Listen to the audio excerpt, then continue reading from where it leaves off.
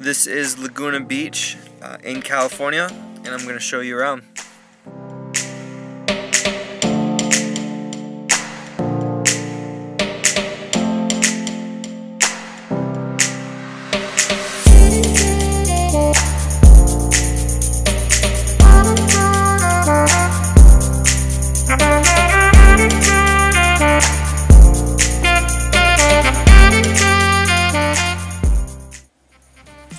Really nice beach, people taking showers. Um, it's fairly busy and uh, the sand is extremely soft. It's really fine powder. And there's a little dog running around.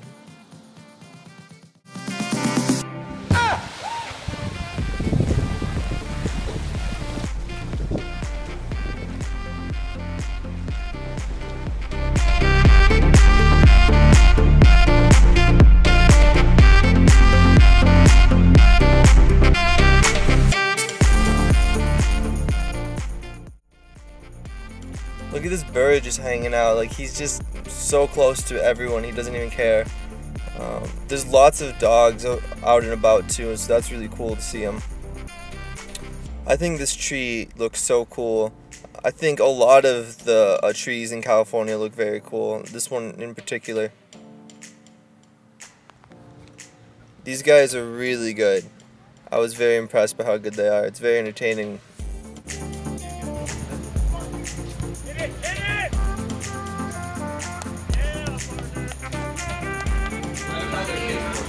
Cool, thank you so much.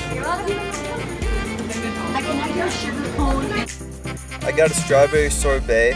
Um, a lot of this is gelato right here and a lot of different flavors. Uh, I'm vegan, so I can't have dairy. So the sorbet, in my opinion, was a good choice, and I liked it a lot. I think it, um, ta it tastes amazing.